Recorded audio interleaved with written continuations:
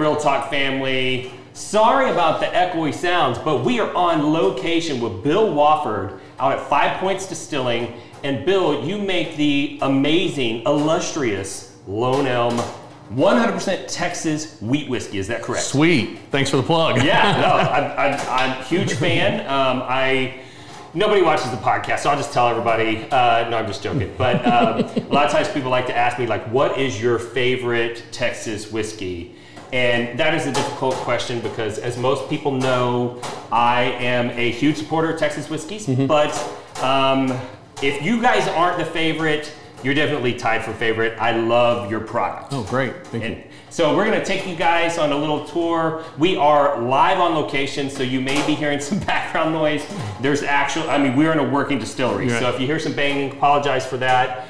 And so first off, I just wanna get some basic information Okay. about the distillery. How long have you guys been in business? When did you, when did you start? We started in late 2011. We decided to do it in late 2011, and uh, we started building this this particular building plant in 2012. Okay. We completed this building uh, mid 2013 and made our first straight wheat whiskey Gotcha. in this building. Right? And uh, your location is a little bit unique. Um, the, I mean, maybe the closest that I've seen that has this much land is maybe Garrison Brothers. Um, but you guys are on about 10 acres out. Yeah, here. yeah. You have two different buildings, and it's actually a, a pretty fun tour. And you guys do a lot of outdoor events here, Right. barbecue competitions, and things like that. And so, if you're ever in Texas and you want to have a good time, definitely check out Five Points Distilling. Um, but you've been around for actually that's a good long time in the Texas whiskey world. Yeah, yeah. yeah. Of- we're eight of- years in. One of, one of the early adopters, one of the first people to get a distiller special permit in the state of Texas. Right. And I've often heard it said, and I'm going to rub a little salt in the wound here. Okay, So, yeah. okay, So I've often I've often heard it said that uh, the the best way to make a small fortune in distilling is to start with a large fortune. that's exactly right, and that's what we've been doing, right? Uh, uh, yeah, we, we're we're still on a cash call basis, right? We're small craft, right? Uh, distribution's difficult, right? It's it's it's it's hard, right? Yeah, yeah. There's a lot of push for the big name brands, right? sure, sure. They have a lot of money to push into the advertising, and that's basically what drives the business, more or less, is advertising. Yeah, and there's been some pretty difficult hurdles that you guys have had to face throughout the years. And we're going to talk more about that. We'll probably talk about that when we get over to the tasting room. But right now, let's talk about your process. So you're Right. you're 90% red winter wheat. We are 90% soft red winter wheat right there. okay, check that And, out. and distilling is and distilling is um, it's all it's all about your ingredients. It's all about your cook. It's all about your fermentation. All about your distillation. It's like baking, Mm-hmm. a lot like baking, right? You're gonna make a good cake. You got to start with good flour. okay. Then how the time and temp you cook, mix, and cook the cake determines whether it rises or falls or how it tastes, right? How fluffy it is. And of course, we have an extra step. Yeah, yeah. Our icing is distillation. exactly. But yeah, you know, and I'm a big proponent of tasting everything that goes into the mash. Uh-huh. Fermented, the fermented mash, the sweet mash, the sour mash, all the way through, right? If you're not tasting it, you're not getting it right. Sure, sure. And that's the key, I think, to anything you do is to taste. so what is your background that caused you to develop this level of knowledge with regard to Uh. I have a doctorate in physical chemistry from Texas A&M. okay. And so, Gig 'em. whoop, yeah, yeah, yeah, that's right. I, if you didn't know, Aggies drink Lone Elm. that's right. If you didn't know, class of double O. Yeah. Uh, gig Oh, I'm a little before that. Yeah, a little bit. a little bit before that, Yeah, yeah. Yeah, let's don't go there. Uh, but, uh, but yeah, so, uh, you know, doing those uh, the chemi co-ops and all that kind of stuff, you get a lot of experience in distilling. Sure, sure. Awesome, awesome. But my, I did not have any experience in, Specific. in specific Yeah. distillations or making mash or anything like that, but I did have the general background. That's awesome. That's awesome. And so you guys are getting your wheat from who? Right here on the East Fork of the Trinity. Okay. So it's grown right here by us. So this 100% Texas whiskey, and like even your grain is Texas. Right here. No, grown, yeah, grown within three miles of us. Wow, that is amazing. So that's it's grown right here. Uh, we've got uh, two ranchers right here. They grow a lot of uh, red winter here to, to feed the cows. Awesome. We got several thousand head right across, and they're growing the wheat for us. Well, let's run over and uh, and and take a look at uh, what you do to your to your red winter wheat before you throw it in the fermenter. Right. Cool. All right, so here we are. This is where you do your mash. Yeah. And your mash is a little bit different than what you would typically get, in, say, in Kentucky, correct? Right. This is a mash tun. It's not a lauter tun. We don't lauter out the grain. So we're graining all the way through the process. Uh, There's a couple of reasons. Uh, it's easy. Uh, it's harder to pump, of course. It's more viscous, especially the rye and the wheat. But it also cleans the pod on each run and gives us fresh copper Okay. on each run. Okay. So it's a simple way to clean the pot. And it, And copper is important for distillation. copper's so- important for the distillation. You want to make sure you have a catalyzed pathway so you don't make ethyl carbamate, which is a carcinogen. How long do you typically um, have it in the in the mash for? Is it is that a, a So here, process? so uh, so let's take bourbon, right? So bourbon, you cook the corn. You say say you're making Weller's, Makers, Crow, any of those. Mm-hmm. 70% corn, 15% malted barley, 15% wheat. Mm-hmm. So you cook the corn about 200 degrees for 45 minutes to an hour. Drop down and drop the wheat in at 165. Cook for mm-hmm. another hour. Drop down and put your malted barley in at 145. Each grain scalds at a different temperature, but your malted barley you add last at a lower temp, so you don't destroy the alpha and beta amylase amylase enzymes that break down the carbohydrates to the simple sugar, so the yeast can attack it. So here we we start either we start either with wheat at 165 and cook, or we start with a, a wheat rye mix and cook at 165. Or if we're making just say uh, all you know a single malt, we start with all barley. What ingredients you put in? Again, it's like making a cake, right? What ingredients you put in, and how you do that time and temp on the mash determine the outcome of this what, product, what, right? what the flavor's going to be. Yeah, right. And what you want to do is taste that. You taste the ingredients going in and you taste it coming out. There's no substitute for smell and taste in this Right. business, right? Oh, yeah, you can buy some expensive analytical equipment, right? But there's no substitute for smell and taste. Right, right. So I, we taste everything, right? Uh, so, and, and you, you you know, it's going to come in there and it's going to go in as flour and it's going to be sugary sweet. Uh, I've I mean, tasted just it before. sticky, sugary sweet. Yeah, it, ta- it, it, it tastes like uh, Cream of wheat. like cream of moon. Yeah, like some, You can some eat. sort of syrup. You can eat what comes out of here for breakfast. Yeah, yeah. Now, corn, I don't recommend that. Yeah, It yeah, doesn't yeah. make a good breakfast No, cereal. But wheat or the wheat or the rye makes pretty good breakfast cereal. But yeah, the the wheat makes the best breakfast cereal. Nice. So you can have that for breakfast when you're done. So we, we do that, then we cool it down here. We got a cooling jacket. So um, now we back set here to control the pH, right? So I add some of the previous distilled mash back to the system to control the pH, right? Awesome. And uh, I was under the mistaken uh, belief that you guys use sweet mash here, so that's that's interesting. So it's kind of it's kind of it's a hybrid. Yeah, we back set. Back set. That's the way to say it. We backset. So we do that, and then we cool this down, and then we pitch the yeast and hydrate it here. So we about 80 or 90 degrees. We can we can the bring the yeast to that temperature, hydrate it, and bring it in here. awesome. Once we've mixed all that up, the, the yeast is aerobic to begin with, likes oxygen like crazy, and starts to boil, and Boom, you're off to the races. we're off to the races. Well, let's go check out the fermenter. Cool. Let's do it. Now we're over here in the fermenting room, Mm-hmm. and um, I noticed that the the mash tank was actually attached to the floor in there. So how do Yeah. you move the product from over there? Uh, into just? Mm-hmm. stainless steel pipes, right? So we just pump it through stainless steel pipes. Uh, uh, so it's just transferred into these mash tun, um, these these fermenters, and these are just open top. So we're typical kind of Kentucky, where it's just open top fermentation. You No beer fermenters are closed, right? Mm-hmm. You're going to drink that product, but we're going to distill it, so we don't worry about it. But we do what we do worry about is how fast that fermentation happens. right. So one of the keys to our whiskey is a nice, slow, long, temperature-controlled fermentation. Right. We use these chill, you know, these chill jackets to keep it controlled and con- control the room temperature. Right, right. We keep the room closed. You don't want outside uh, yeast getting in, and you don't or infections, right? And you can easily tell when they're infected, right? Right. Um, but so we do a one. We're on a one-week cycle, summer or winter. We ferment for one week. Seven days is actually very long. Very for, long. for the industry. Right. So you, we can't get too cold; the yeast won't function. Mm-hmm. Uh, you can't get too hot; you get the, all these off flavors. Mm-hmm. So we keep a about a 74 degree constant temperature, mm-hmm. even when it's initially exothermic. Right? We cool that down. We keep it at 74, as it's making the CO2 and the ethanol Right. from the sugar. You know, if you're open open building, say Kentucky, it's summer. You're not. You're not gonna. You're not. Three days, it's over. Right, It's gonna go really fast. In Yeah, the yeah. winter, it's gonna go much slower. Okay. So they, there's no way to temperature control that, right? So they're kind of at the mercy. Of course, most of them they don't. They close down in the summer. Right, they don't- close for the summer right. to do all their. They do maintenance and whatnot. Right. Yeah. Yeah. But for you guys, you have a temperature controlled system, so you can run year All round. year, right. Okay, gotcha, gotcha. Right, and we're, we're very small here. I mean, these are 500. We're a 500 gallon batch system, right? So we get one 53 gallon barrel a day out of the out of the one still, right? Right. So we- we're very small, so we can control things really well. Awesome. And so yeah, so that how you do that, time and temp again comes into play, and we we we take that very seriously, and we do that one week.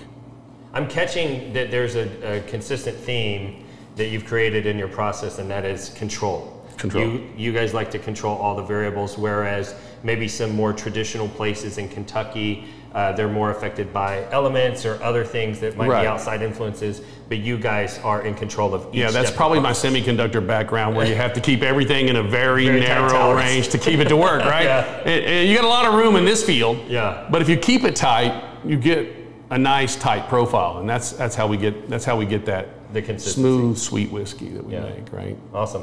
Well, let's go check out the still. Let's do it. All right, here we are in front of your Vendome Copper, Brass and Copper Works, Brass and Copper Works. 500 gallon pot still. pot still and and and this is uh, my understanding the most famous pot still manufacturer In the world. in the world is Vendome. Yeah, this So- is this is German copper. Comes from Germany. Mm-hmm. Very nice copper.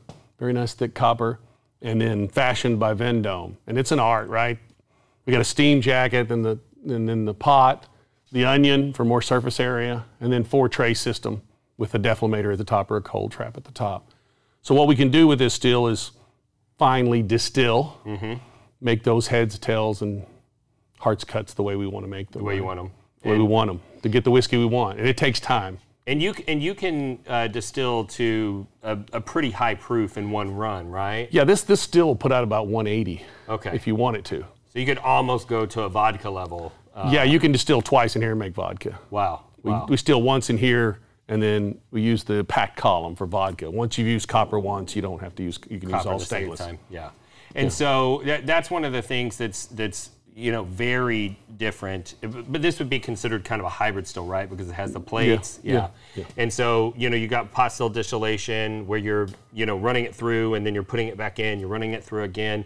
Uh, but in here. That vapor kind of floats up and down inside that column until they get it separated the way that they want, and then it comes out over here, correct? Yeah. So, so you can do this many ways. You can use a straight pot with a lyne arm or one plate and strip it. Then you can come back and do a finer distillation later. Mm-hmm. Now we found that for batch processing like we do, one single 12-hour distillation where we finally control the plates mm-hmm. and the reflux with the cold trap or the deflator as they call it in Kentucky. Mm-hmm. Uh, we finally control that so we can finally separate the components into what we want. And that's how we get the profile that we want out of our whiskey, this, the smoothness Gotcha. and the extra flavors. Your your final. Let's let's walk over here to. Um, and normally it's running, but luckily it's not because it's not too loud. Yeah, so it comes across, it, it's condensed in the condenser, uh huh.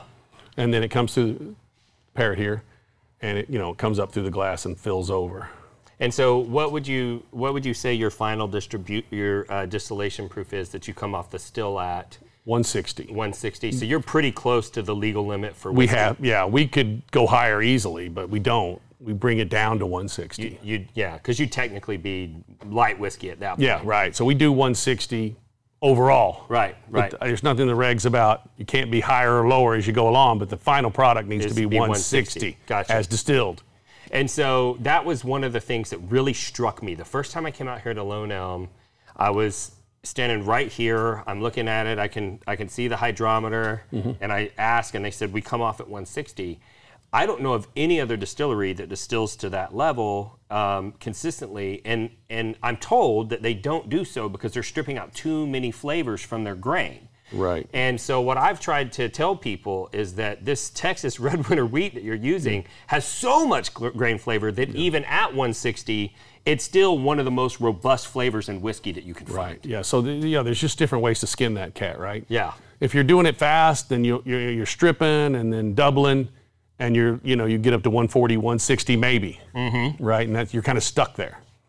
We come off high and do that separation very finely. How do you do this? You turn this? Yeah, but it's it's empty at the moment. I got They you. said some was going to come out. Oh yeah, Yeah, cool. just a wee bit. Just a wee bit. It's going to be some. It's going to be a little tailsy though. A little Tilsy. Yeah, that's where the distillation stopped. Let me see. Yeah, Telsey. Little Telsey. Okay. Honestly, this does not smell like your normal distillate. I've tried your. Uh, This your- is the very end of the. This is tails have been distilled here, so So th- there's probably a lot throw of. that off right there. Uh, there's probably a lot of uh, a lot of flavor there. A lot of flavor, but a lot of uh, esters and whatnot in there. The heavier. The heavier alcohols, the heavier con- congeners are in there. Okay. So give that a fling, and let's get the center. Let's get the center. So this is the heart. This is what we're going for. This for those of you who don't know, the term I can't tell heads nor tails of that is a distiller's term. You've got your heads, which are your lighter compounds Your like methanol, methanol and light esters. yeah, things like that. Things that are not Ethers. Mm-hmm. good to drink. You don't want to drink those. That they'll they'll cause macular That goes in. That goes in the first cut. And then you've got your heart. That's the good stuff. Sweet ethanol. And then you've got your tails, and there's some flavor in there, but you you, you don't want to put the wrong amount of your tails in. Right. your- You want to separate those well. And what one of the things you can't do if you're just quick stripping and doubling is you can't separate those con, those those tail congeners very well. And do you know what um, grain this is? This is. Is this the wheat or does it have rye in it? go ahead and taste it. I, I'm, I think I'm tasting rye, but I'm not as good at it as you are. This is rye, yeah. Yay! and it's high proof too. yeah, it's it's, It's 160. it is. But I'll, I'll tell you what. Um, no, there's there's plenty. Yeah, I, I didn't want to be. I didn't want to cheat you. No, no, no, no. I, I, I like the high proof stuff, and and what I have noticed is that even your white There dog is, there it is. tastes amazing. Yeah, I- it tastes like cotton candy. I That, mean, that is my. Again, I'm gonna go right back to tasting every step of the. If you want to make great whiskey, you taste it. If your white dog doesn't taste good, it's not gonna come special out of the barrel. no, no, it's not. No, it's not. The Yeah, barrel's gonna augment, not fabricate. Exactly. Yeah. No, I love that philosophy, and I definitely can taste it in your product. So let's uh, let's head on over and check. Yeah, that's a spicy rye. That's a spicy Weeded rye. rye, a weeded rye. Okay. Super Yeah, viscous whiskey. yeah and the reason a lot of people don't like to work with wheat and rye is because it's too viscous. Mm-hmm. It's hard to pump. It's very viscous, hard to deal with. and you even when it's even when it's boiling, it the, the viscous boils up and tries to jump out of the fermenter. Right. Where you don't get that with corn whiskey. and do you uh, use anything to keep the the rye from gumming up and all that stuff while you're going through that process? We, we do with the rye. We the have rye. to. We have with the, to, right? We have to with the rye. Yeah. Yeah. So that's the only place we add a little bit of enzyme, a little bit of stuff to to keep, keep it it flowing. Yeah, because I've heard of, of It's a uh, nightmare. You Fermenters like bubbling over and, and fill, It's a nightmare whole with the rye. Yeah. The wheat's almost as bad, and of course corn's much better. All right. But yeah, we got a lot of. That's got a lot of spice and cherry, and Yeah, some good cherry notes in there. that's sweet. Mm, it's good stuff. Let's go check out uh, your your barrel warehouse. I'm going to talk to you about your barrels because you got some unique stuff going on there. Yeah. So out of here, out of here, we come back. We, we finish off about 160, Uh huh. uh, and then we dilute to 120, 125, put in the barrel. Okay. So your barrel entry proof's around 120, 125. Yeah, I prefer 120, but financially 125 is better. But we probably do it about 120 most of the time. Gotcha. But we do keep a range in there just for interest. Yeah. You'll, you'll we'll, see a lot of people like to you know like to get up there that 127 mark, Mm-hmm. 125, 127. They're real interested in those whiskeys up there. Mm-hmm. You know they like a lot of bite, and then you'll see the traditionalists 110, 108. You know that's kind of the Kentucky place Mm-hmm. for those, right? For the for the barrels, and then normal it's about you know 118, 120 is a real sweet spot Gotcha. for cost versus Versus flavor. flavor. Awesome. All right. Well, let's check out those barrels, and then we're going to head over to your tasting room, and I'm going to ask you the hard questions. All right, cool. Let's do it. All right, Bill. Now we're over here in the barrel warehouse, and we do have a distillery dog running around. Yeah, Miley, Miley, come here. come here, girl. Yeah, Miley. No, no distillery is complete Miley, here. without a distillery dog. Miley, here. Come here. Come here, girl. Is she a mouser at all? she does whatever needs to be done. She's a good girl. Her's a good girl. Her just likes mice and ducks. Yeah, pheasants, chukar, quail. She just likes them all. She'll get them all, whatever it is. Whatever it is, she'll get it. awesome sauce. So we're standing here in front of the the new uh, barrel racks, or new-ish. Uh, First time I came out here, I don't think these were here yet. We Mm-hmm. put these in in uh, 20 late 2017. Yeah, yeah. So I think the first time I came out, they weren't here yet, and they're getting full, and they're full with great big old beautiful. These are 53 gallon barrels, right? Yeah, these are, yeah, American white oak. American white oak from the. Ozarks, where I'm from originally, and uh, and made at uh, Independent Stave Company in Lebanon, Missouri, just north of the Arkansas Missouri border. Independent stave. Do you know what char level you This guys is a with? three to four. Three to four. Yeah. And any uh, toasting on these barrels? No, we don't. Now, some people char and toast and mix. We don't do that. What we do is we put different uh, toasted woods inside Okay. for the finish. For the finish. Okay. Right.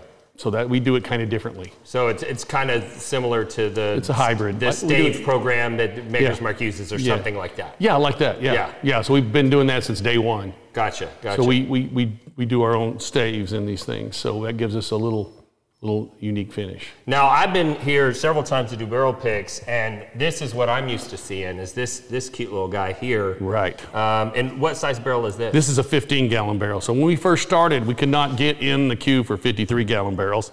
But also, this 15 gallon barrel give you much more oak and vanilla, more Mm-hmm. color, and that's why our even our short age whiskey has so much color and flavor, right? Yeah. Because we use these small barrels. So smaller the barrel, the more oak and vanilla you get, the more color you get, and uh, we can get it to market much faster. So you know, it's it's like two years, two years in this barrel in Texas is is is Quite a lot. It's a lot. Yeah. In four years, in five years, what we're selling now out of these barrels is a huge, Huge, amount yeah. of aging. It looks like ink when it Right. comes out of that barrel. Yeah. Especially, I mean, we've uh, we picked a short barrel the last time we came out here. We we picked it up and we are like, uh, Brandon, this one's almost empty, and he's like, it, it happens. Yeah. And we were we were actually working on the first ever uh, cash strength non-chill filtered Mm-hmm. ultra small batch that Lone Elm has ever released. Right. And uh, because the whiskey that you have that's ready for the market is from these smaller barrels and they don't yield a huge number, and we have a good number of members of our club that are we know are going to want your whiskey. We decided, hey, let's pick a handful of these smaller barrels Mm-hmm. and let's blend them on site and, and let's see what happens. Let's let's make our own small batch blend. And while we were doing that, we found one barrel that was super weird and it was almost empty. And and we were like, hey, Brandon, how many do you think are in here? And he's like, I don't know, 25 or 30. And so we had enough enough people on the tasting team. We decided just to bottle that one for ourselves. And uh, I've given that to a couple people. And there has been more than one person that tried to sneak out of the house with my Yeah, bottle super it's concentrated. Super concentrated. Um, I mean, super dark ink. And with your whiskeys, I consistently get a dried dark fruit, Mm-hmm. like a, a raisin, a prune, uh, the, a acai berry, you know, something like that. Chocolate, Mm-hmm. Yep. spearmint, very common. Black cherry. A lot of cherry. Where, what else do you get on your whiskey? I mean, you're the chemical, you know, engineer type person. Um, Uh, you so- know, I my palate's not as not as good as the wife's or somebody like that, right? Sure. There- a lot of people can taste a hundred flavors, you know, and I, I can't. I can't. I know what I like in harmony, but I'm not great at that. But yeah, you've hit on the main ones, right? You'll, you'll get kind of a, that whole licorice side, you know, and then the cherry side, the oak vanilla, and then one thing I notice is the anise. A lot. I notice a lot of that. Mm-hmm. Yeah, a lot of times you, you do get like a black licorice Mm-hmm. flavor uh, from this. And I'll tell you a funny story. When I came here for a barrel pick, we picked three barrels and they were bottled separately. And the club owner asked me to do a review of the whiskey so that the members could know which one would fit their palate and they Right. know which bottle to go buy. And so my wife comes home and I've got note and pad out on the table Right. and I'm like concentrating and I'm writing all these notes and I'm drinking from all three of these glasses. And she comes up and, and she kisses me because she had just gotten home. And, and she's like, Oh my God, what have you been eating? And I was like, Nothing, I'm just drinking this whiskey. And she goes, You know what it tastes like?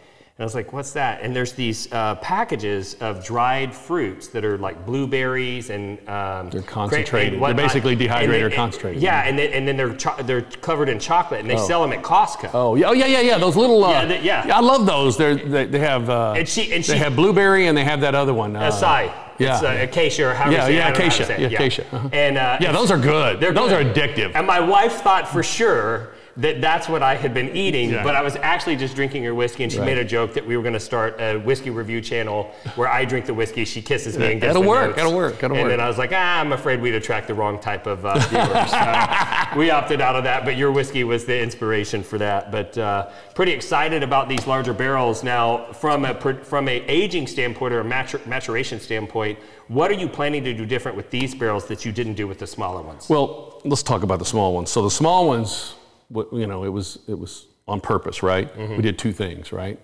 We knew we could concentrate it with the smaller barrel. We also put it, it 120, 130 degrees in, in the shipping container. Okay. So you we really it. accelerated the aging. Every 10 degrees hotter, the aging doubles. Mm-hmm. That's why Kentucky ages twice as fast as Scotland, and we age twice as fast in Kentucky. Mm-hmm. But if you put these barrels in a shipping container in Texas, you just went to four times faster. The reactions are four times faster than they are just hanging around regularly. Right. So the sun's beating down on them, and that temperature stays hot in there. So now the bad news is that makes great whiskey fast. The bad news is the angels drink most of it. Yeah. So the, as you go smaller barrel and hotter, the angel share goes up and up and up. Mm-hmm. So you're doubling and tripling and quadrupling the angel share.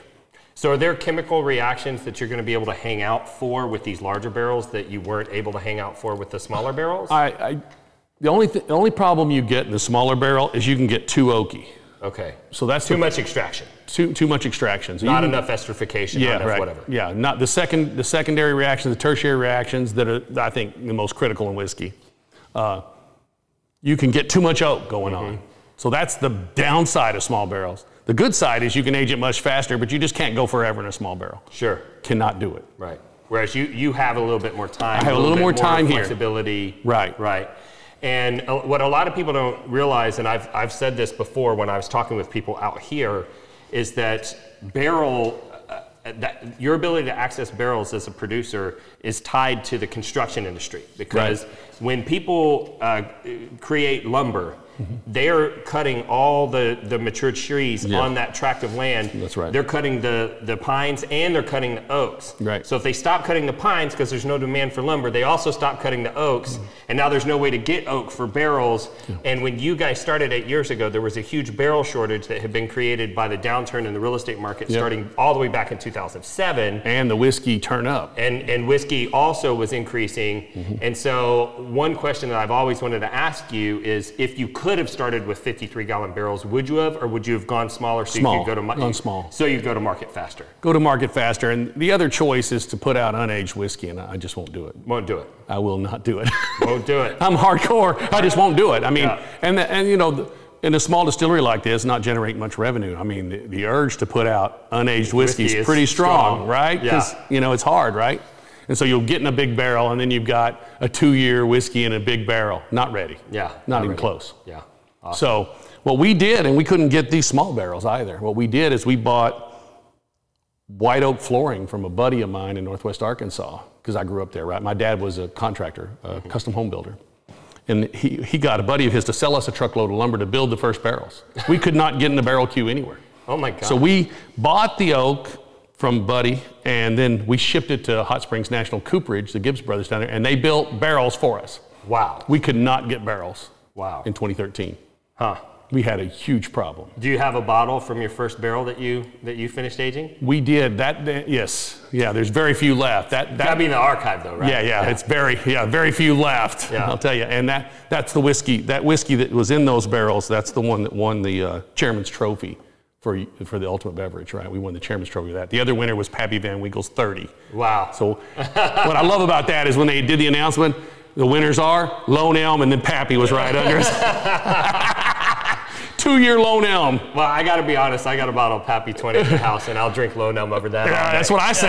That's what I said. But no offense, Pappy guys. no offense. You make good whiskey. Yeah, yeah, but the 20 for me, it's a little too much. So. Yeah, yeah. All right. Well, why don't we uh, make it on over to the tasting room and let's drink some whiskey, and I'll ask you a few questions. That's the important part. The important part. We got to, we finally got there. We finally got there. All right, let's do it. All right. Well, here we are in your beautiful tasting room. Um, the bacon room.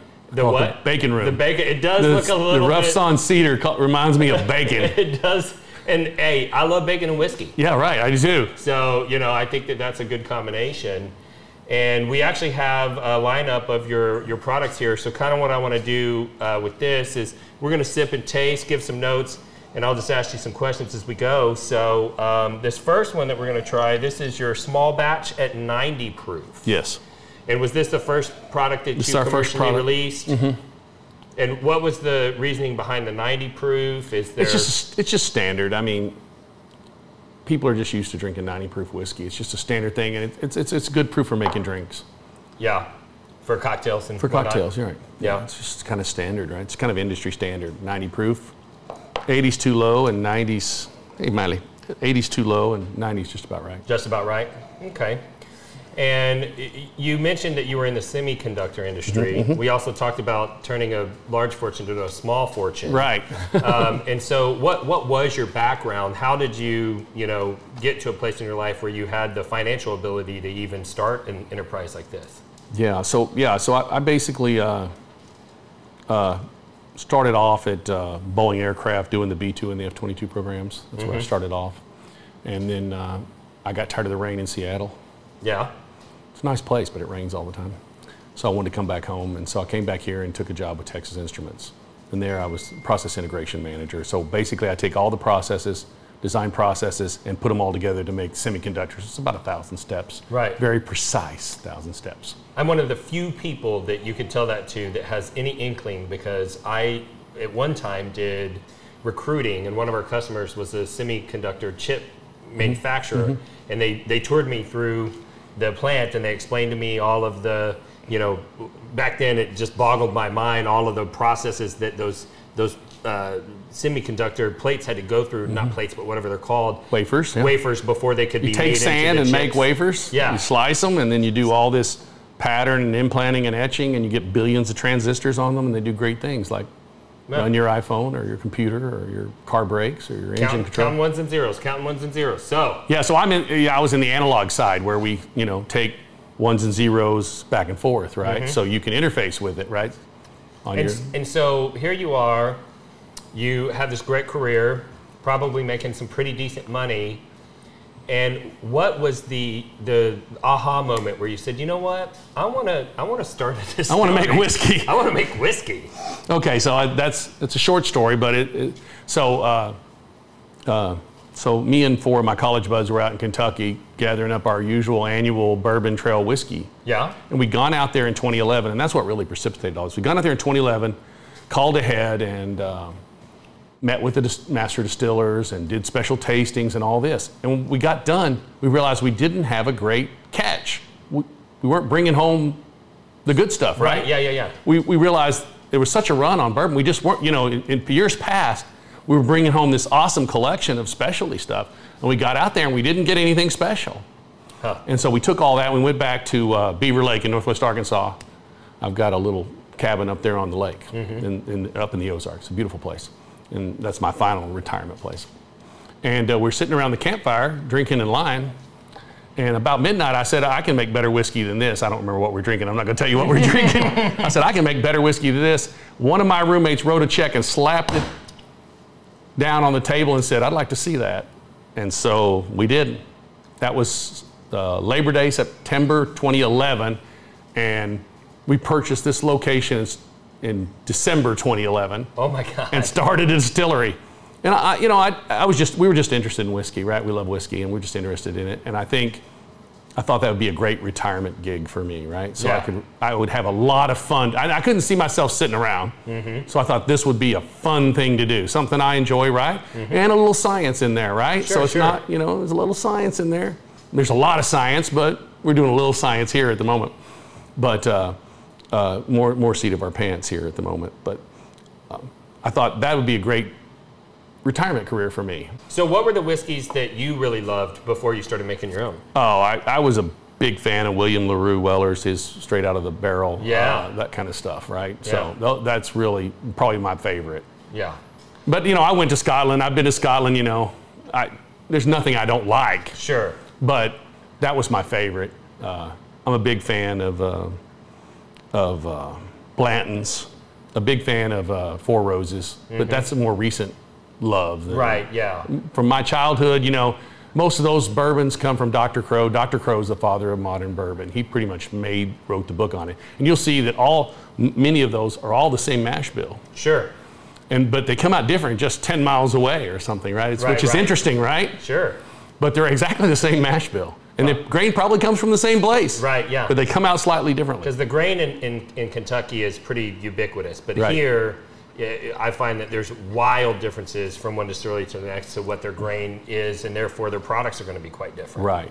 And right. so, So we've got a lot of stuff from up in the panhandle. We've got stuff local, but it's all Texas. So, and, and we were into being all Texas, right? so what's the the one the one?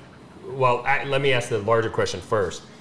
If you could do it all over again, would you? Yeah, I would. Would you? but I wouldn't recommend it to anybody. I'm not going to recommend it to anybody else. You know, I had a passion for it, and you know, I don't care if I die in poverty, Right, in my sure. old age. So, uh, but I would, yeah, underfunded. Almost everybody's underfunded, and that's a disaster. Sure. You can't go the long haul. So I think that's the real problem is being underfunded. And but you can you can you can probably you can probably start a tiny small craft distillery out of your barn for a million, Yeah. right? So what's the what's the if I were to ask you what's the biggest hurdle that that just really put a kink in the hose for you guys? Uh, what- Distribution. distribution. We, we, you know, a lot of people. I hear a lot of people say, "Oh, the permitting was a nightmare. That was easy for us." And oh, getting, you know, getting the equipment facility. You know, we, we built everything. We facilitated everything. We did all ourselves, right? We got a lot of pretty good skill set within the group, and so that saved us a lot of money. Of course, it took time. Sure. But but distribution is the rock wall for small craft, right? Why, why is that? Uh, help help John Cube consumer like the average person. They're used to walking in and seeing Jim, Jack, Turkey, whatever on the shelves. Explain to them why that is Mali. a difficult No thing. Mali. No Mali. It's okay. I got a pupper here off camera that needs some pets. Here, let me give you some pets. She's no, she's a she, she yeah, she's she's a lover, not a fighter. there you go. but uh, Unless you're a no, so- chukar. so yeah, yeah, unless you're a chukar, yeah, then she don't like chukars. Yeah. Um, there's a wall there because big distribution works on margins, and they're we can't go around them. If Mm-hmm. you go around distri- distributors, they would offer a much better product, but you can't. Right. It's mandated by law. So let me explain to everybody that's listening. We're talking about the three-tier system. Producer sells to the wholesaler, distributor. Um, the wholesaler distributor sells Yeah, to the sure. retailer, and that is the way that it has to go. So you can't necessarily buy product directly from a producer in the state of Texas, except that they're able to sell up to 1.5 liters every 30 days to each individual, which is not enough to sustain Which the distributors lobbied for. Right, right. And we couldn't even do that. When we started, we could not sell. Couldn't sell at all. So we didn't pick a downtown location. We picked a location that was out, in the country, yeah. which was a better ecosystem choice. But if you were wanting to sell, you'd be, you know, In in, city Deep Ellum. somewhere. Yeah, you'd Yeah. be right where you know you're in the middle of some traffic, right? But you could not sell out of your distillery when we started. Right. That was against the law. Then we finally got the ability to sell samples, basically, right, Right. for marketing. Right. And of course, in some states, Arkansas, Colorado, a couple of states, you can sell out all you want out of your distillery. They have what they call uh, general commerce laws. Right. So if you make it there, you can sell, Sell it, it there, right. Which I think Texas should get around to, right? Well, what we're fighting for right now in Texas and the Still Strong Texas initiative is to allow you guys, because you've spent years trying to attract people out here to this beautiful tasting room. Right. You have rabid fans that live all across the state. And unfortunately, because of limited distribution, limited Right. production, they can't just walk into their liquor store and buy a bottle of your whiskey, No. even if they desperately want it. They want to buy it, but they're not able to go out and get it. And so, what we've been working for here in Texas is for the right for you guys to be able to ship your whiskey to those individuals who come out and sign up for some sort of a club membership Right. or whatever. Right. And I really hope that that changes. I hope that they'll take the limits off of how much you can sell to people when they do come to your Yeah, if you come all this way, if you come all the way here from South Texas, drive six hours or even more, Right, yeah. and you can buy price. two bottles. Yeah. come on. Yeah. You're going to buy a case, right? You're going to take it home. You're not going to be back for another year, right, Sure. or more, right? Sure. So you want to get a case of whiskey. So, so we're working on that. But you guys did have to switch up who your uh, distributor was at some yeah. So point. yeah. So when you're small, you know, you're gonna you're gonna have to form some kind of partnership with a smaller distributor, right? Mm-hmm. And smaller distributors are fighting for shelf space with the larger distributors who have more money to throw around and can deliver more often, and that's better for the the store. the store because the don't have to bottles are all, they don't have to carry as much inventory. inventory, so they can stock. And we just we hope that we I mean, we hope is that the local sellers, you know, take into account that we're small Texas and build help build Texas whiskey with us, right? Sure, sure. Partnership, and we're getting pretty good, getting some pretty good relationships in the stores, but it's tough, right? Because Good we're small. Yeah. Well, and, and I've, I've often said you might make the best whiskey in the world. It does not mean that your business isn't going to go belly up. Oh, absolutely. As a matter of fact, making the best whiskey in the world might put you in, might put you in the poorhouse. yeah, that's right. That's right. And so, So there, yeah, there's a there's a juxtaposition there that juxtaposition. that is you know to market perfect product, you know, nobody, if it doesn't get out there or market, then you're in trouble, right? Mm-hmm. So word of mouth is a tough business. This is business is tough. So you guys have a good bit of hardware. These bottles back here have uh, some some awards on here. So what are some of the accolades that your whiskeys received? So we won that chairman's trophy with our two year, and they, they really challenged that. They didn't believe our whiskey was two years, but two years at 130 degrees is a lot of age. there wasn't much left in those barrels. So that original whiskey was uh, uh, proof down to 90, but was just coarse filtered like the barrel proof. Sure. And that whiskey won the best whiskey. We got the chairman's trophy for that. That was our two year. But they challenged that. They said there was no way that whiskey was two years old, so they tested it. Mm. They, we were right. We, we told them it's right. two years old. Oh, oh, you know, I had to get on the phone and explain to them that it was two years in a small barrel in a hot box in Texas. Right. And that's like 10 years anywhere else, right? Yeah, yeah. That's awesome. So, so yeah, so we got that chairman's trophy. And then we won gold in New York, Chicago, San Francisco, on, on every product we have is one gold. And is it starting to catch on? you're starting to get some calls from we other are. areas? We are. We are. We're moving out. We're, we're, we're starting to get a slow distribution in, in multiple states, but it's very slow. And we're doing independence in each state. It's not like we have a distributor that's in 29 states, right? Right. But so we're small distributors in each state working that relationship, right? And we're also in Germany. Woohoo! We, we made a big splash in Germany. They made some, if, if you have time, YouTube, do the YouTube Germany thing and listen to the whiskey reviews. It's Yeah. fun. Well, and, and that's one of the things that I really love about Texas whiskey is is I believe that Texas whiskey is going to make its mark on the world for this one one reason only, and that is Texas has its own brand Right. outside of the United States. Right. And it's it's generally a pretty positive brand. Yeah, they call us the cowboy whiskey. The cow- cowboys. You guys are cowboys. Yeah, Cowboys, okay, right? cool. And so they're excited to be able to be a part of whatever that thing Yeah. is. And so as we get large enough to distribute to other areas, I really feel like that's going to help open up other markets. Right. And so I'm, I'm very excited. So what's in the future for Lone Elm Whiskey? Like Uh, growth wise, you said that you can produce about one barrel per day right now, but we can now. we can quadruple that production if we need to. if So you needed to without changing out equipment, without more capital investment. You a could small capital investment, some more fermenters, but no, we can really we can quadruple production almost overnight. overnight. But right now the demand's not there, right? We're staying ahead. Sure. But you got to think long term in whiskey. Sure. Exactly. You don't know when that demand's going to hit, right? So you Exactly. still got to stay ahead. and and then one day all of a sudden you've got Bang, and then you're short. you've got 4x demand Yeah. for than than aged And then eight years later, you can deliver. you can deliver in eight years. so you don't want to do that, right? Yeah. So this year we're doubling production. So is that the goal with the larger barrels? Are you trying to get to an, an eight year, eight year age Well, I- product? I think or- it'll probably be good at six in At six. Texas. Uh, Eight's typical in Kentucky. Mm-hmm. That would say probably four in Texas, but I think probably for us, maybe six, maybe six. somewhere in there. But I don't know yet. I have Yeah. the oldest one in the big barrels, 2017.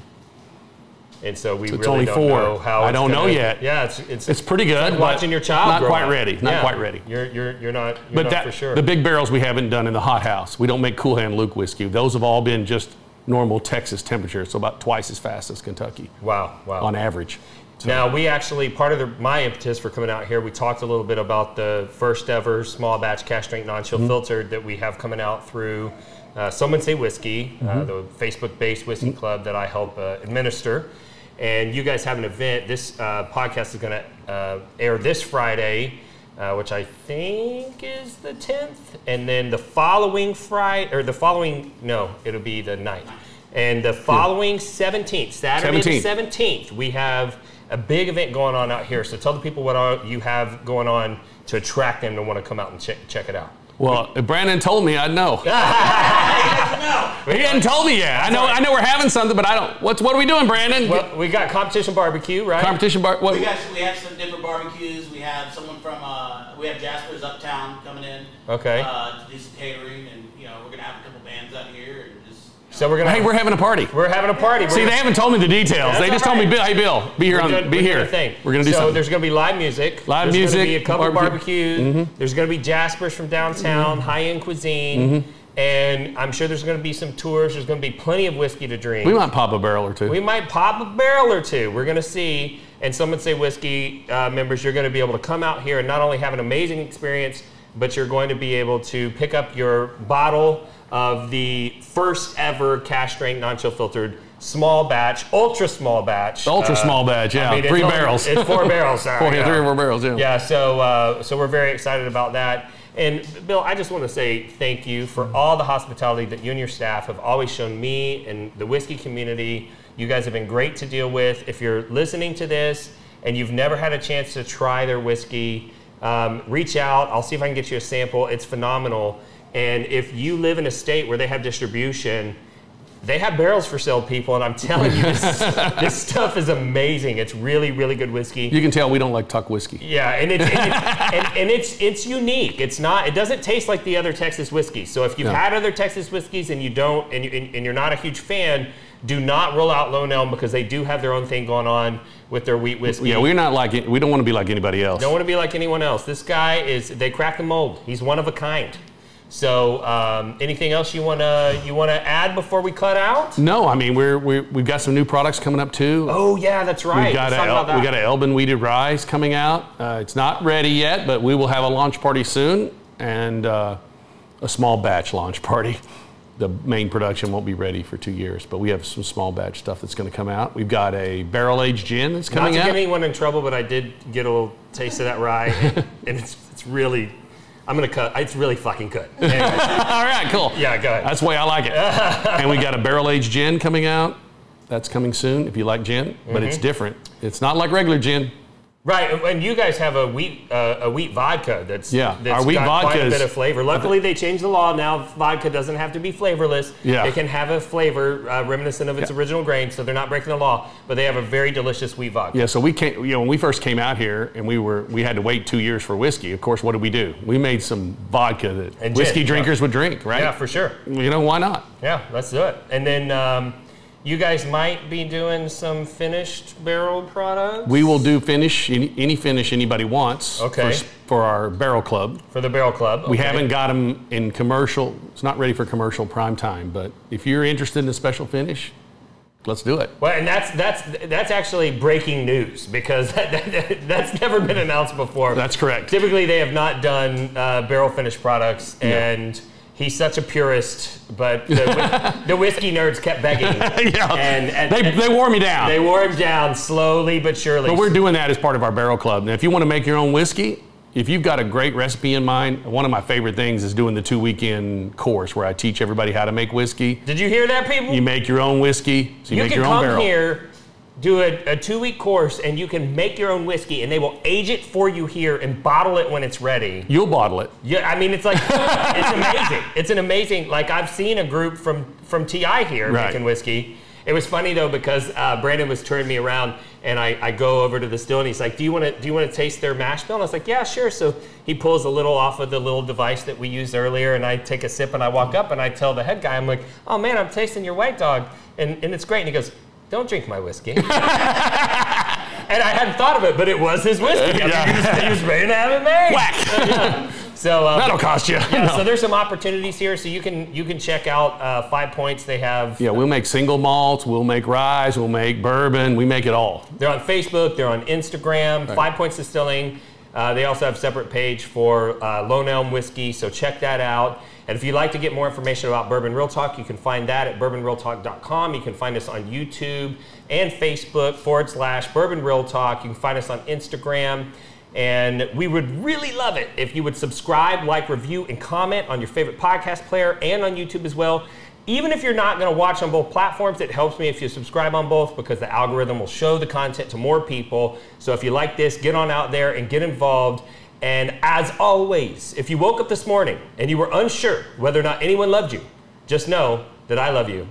and I'll see you next time. on Y'all come back. All right. Cheers. Cheers. Let's cheers it up. This content is being brought to you by the Bourbon Real Talk American Whiskey Aroma Kit. This is a tool that I put together to help all you whiskey aficionados out there develop your palates. You can sit down with the vials and train your senses, or you can sit down with a great dram and break that whiskey down to its components. If you have any interest of purchasing a kit of your own, head on over to bourbonrealtalk.com forward slash shop and pick one up. Thank you for listening.